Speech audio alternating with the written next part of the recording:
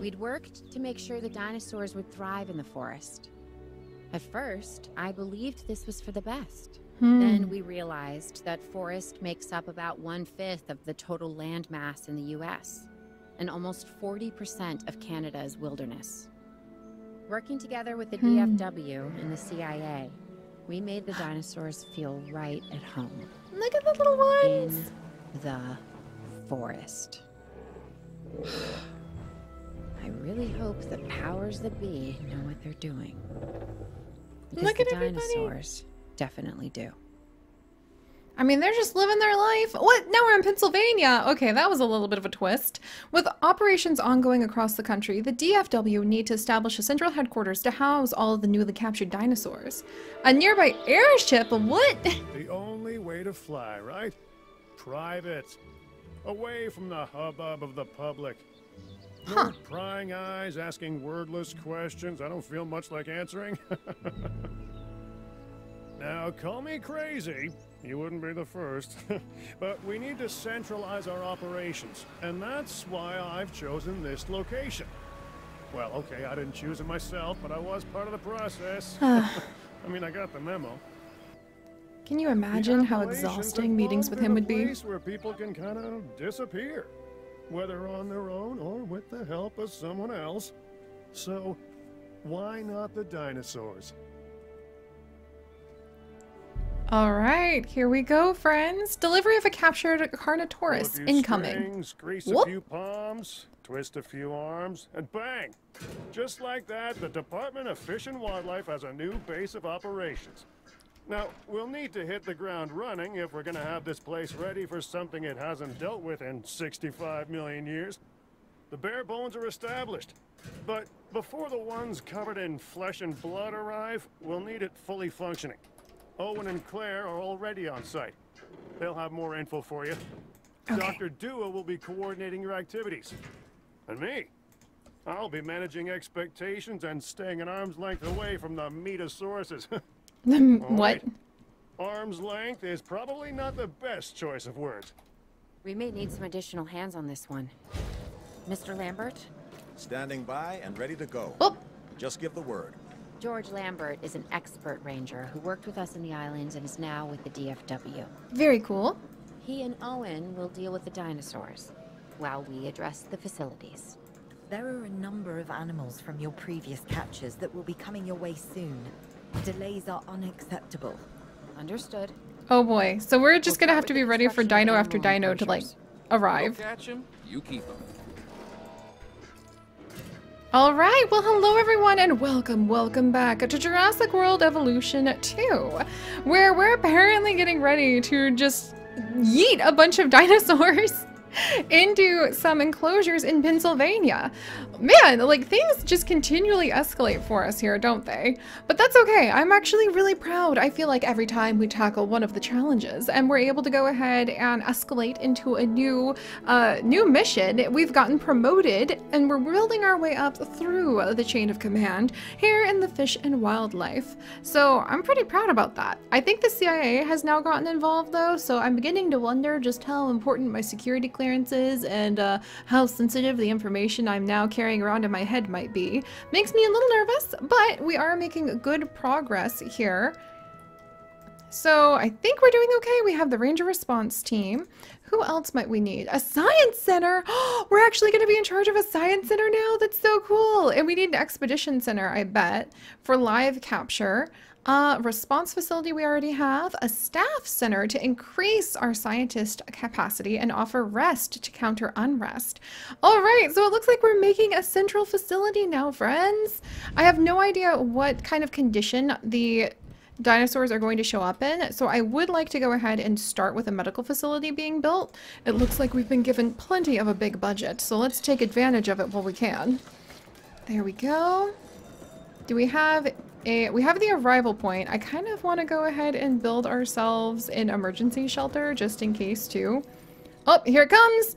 The Carnotaurus. They're being delivered to the park. Two of them! Okay, I'm glad I made a bigger area.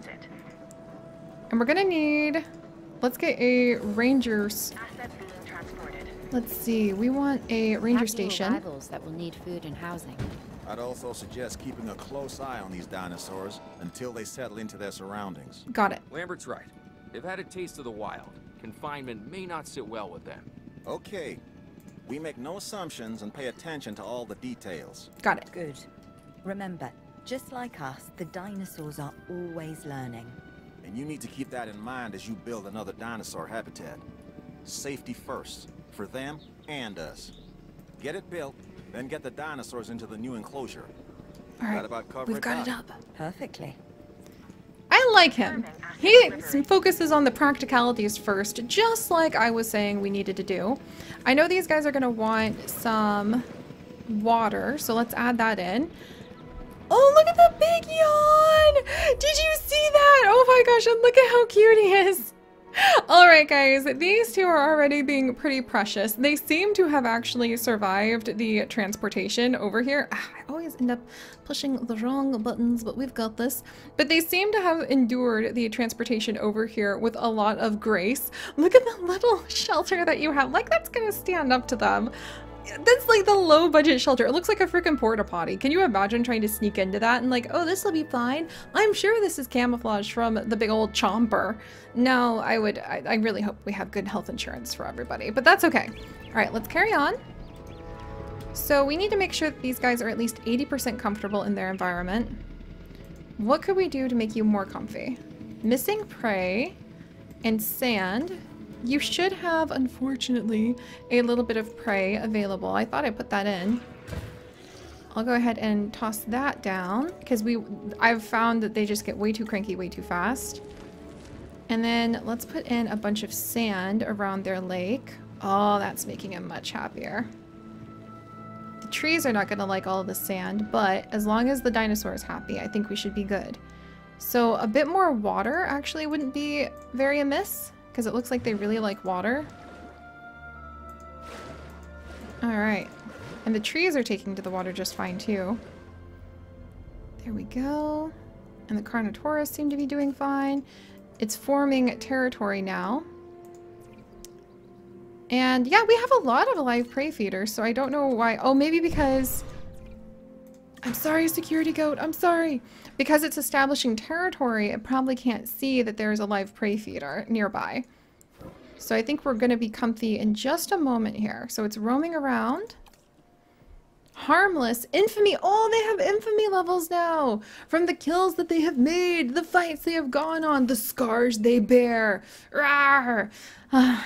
No doubt that some sort of infamy fame, I say with air quotation marks, meant to hype everybody up. When really, look at these! They're just big sand puppies. They just want to spend their days relaxing.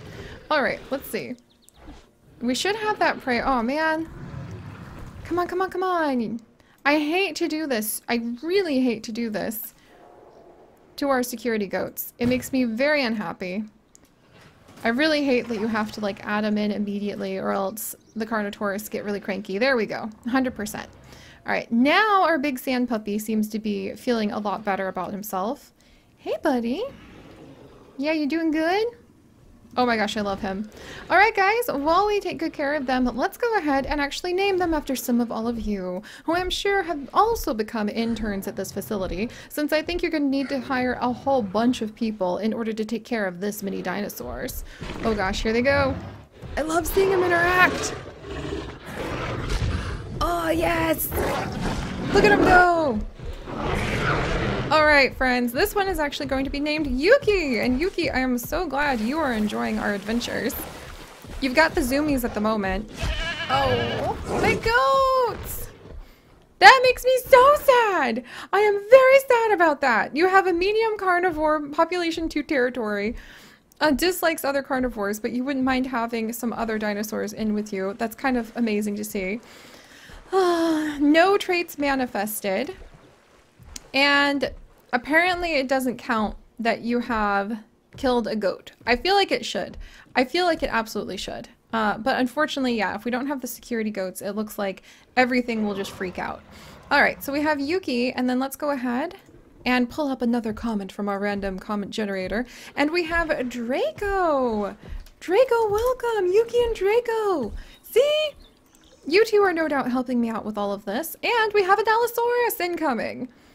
All right, we learned that those guys really like to have a very large enclosure, so we're going to need to expand this quite a bit. Let's go all the way back, because it looks like we can come all the way back here.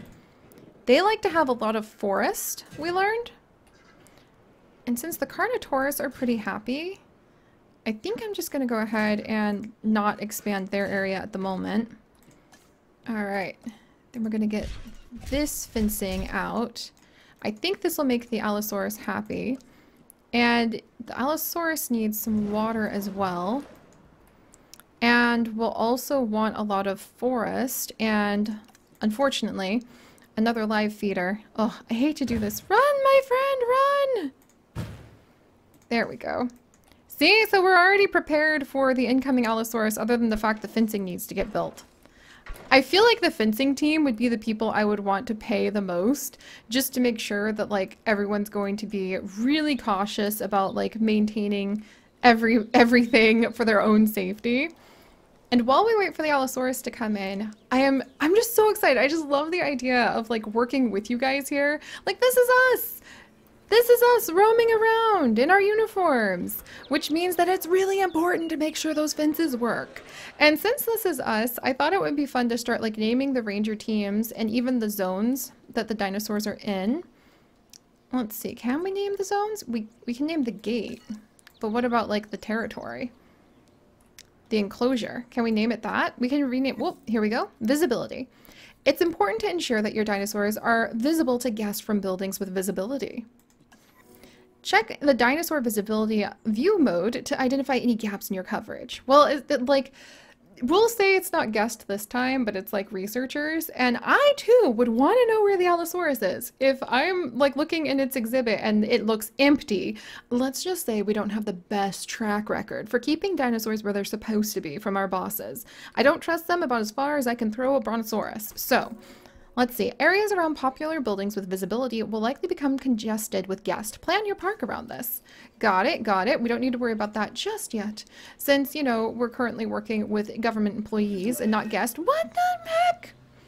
Run, little ranger team, run! I was literally about to rename this ranger team as tradition after some of our patrons like we used to do in the old um the old series and then it gets attacked. So maybe i'll wait till it's fixed so i don't name them just to have somebody like end up dying immediately. All right allosaurus we're ready for you. I'm not sure I'll ever be fully comfortable at the park, but the lab coats want to make sure the dinosaurs are, so that's a job you should stay on top of. all right this is going to be really tricky to make sure that the Allosaurus is visible from the viewing gallery. Because I made such a huge area. So maybe we'll go ahead and... Mm, I did make it too big for that, didn't I? Ah. I mean, I guess I could go ahead and like install one over here. That probably isn't the worst idea. Because then we could put a couple to like have a view of the back. And we do have a lot of money at the moment, so maybe it's a good thing to do with the money we've got. Alright, let's come along here. Connect up.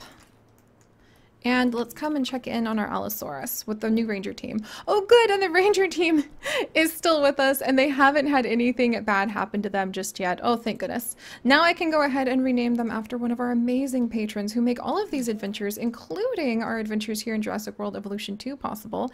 Thank you so much because without you guys, I wouldn't have been able to get the game, so thank you. But we're gonna have Daix Dreamy. Whoops. So Daix, you're gonna be the Daix Ranger team. And thank you so much for making all of these adventures possible in our series. Uh, and good luck. Good luck, friend. I don't know if I would want to be you because now you're the one who's going to have to go in and like check in on our dinosaurs pretty often. All right, let's see. Meanwhile, we're going to have this path hug up along. I should probably give it a little more space so we can put another viewing gallery over here if we need to. But since we have the funding, almost 3 million, oh, that goes so fast. That's only like, what, six broken dinosaur bones, and then like we lose all that funding? Because we need to heal so many of them. There. It's sloppy, but, you know, we're not going to be here forever. I plan on getting promoted soon. Oh, bye! That was an interesting sound. Alright, where'd you go, friend? Oh, there you are. Alright, look at this! The Allosaurus is actually 100% happy! Yeah! Like I said, Dix, you might want to move. I wouldn't envy you at the moment, friend.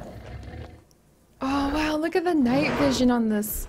We can go ahead and really get right up here with Binda! Binda, welcome! You're gonna be one of our researchers, like, plopping about and helping us to take care of all these dinos. Oh, this is so fun. I just love the idea that we're all, like, huddled together inside one of the viewing galleries. Taking notes. Filing reports complaining about being caught in the uh, like very awkward love triangles and how I just want to like chuck Finch, like Finch right out of. Mm, well, a helicopter would be a little too violent. I would just like to throw him in like a ball pit because I feel like that would occupy him the entire day trying to get back out. So, like, just imagine you go into work in the morning and you kind of just gently hip check Finch into a ball pit, like, oh, sorry about that, sir. Yeah, the ball pit we installed for the daycare that we're running, which would be actually a horrible idea. Who would want to bring their kids to work here? No! Like, no! Don't bring your children to work here. I take it back. The ball pit's just for morale. The dinosaurs seem to be taking to their new surroundings. Nice. I want to make sure they are doing more than surviving, however. We need the animals thriving. As I'm sure you understand, our research is more valuable when we have superior specimens in their optimal conditions.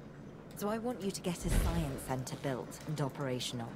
This means more scientists will be needed, so build a staff center as well. Ultimately, science is about the data we collect and analyze. Rubbish in, rubbish out. We want to avoid that at all costs. Especially when you consider the investment that has already been made in these dinosaurs.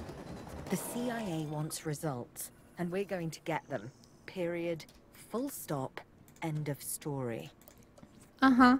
I love how we were able to go ahead and get the job done. before she finished talking.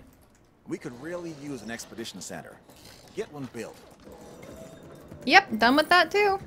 Nice! Ooh, and we have research available. you guys, finally, we've been promoted enough to be able to have our hands on some of the research available. One of my favorite things about being here behind the scenes with the Jurassic World Evolution events. Being able to dive in on the research unlocks so much new stuff. You can get infrastructure unlocked, you can get welfare for your dinosaurs, and also maybe better fences, please. I would really like to research some better fences. That would be fantastic. you can go ahead and unlock all sorts of different boost for when you are trying to genetically recreate your dinos as well, which time will come when we will be able to be promoted enough to start working with those skills. I suppose it's been very useful to start from the ground up so that we're prepared when it comes time to run our own park here.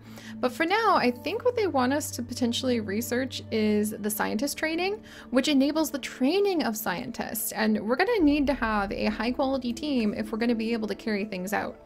And as you see, now when you go ahead and research something, it wasn't as easy as before where you just needed money and like a research facility. Now you need to also go ahead and assign your scientist. And as their unrest goes up, they will actually not be as good at their work. Their quality of work will start going down. They won't be able to get as much done. They will get really disgruntled. I'm not sure if they'll just like quit working for you, but you know, that could be a problem.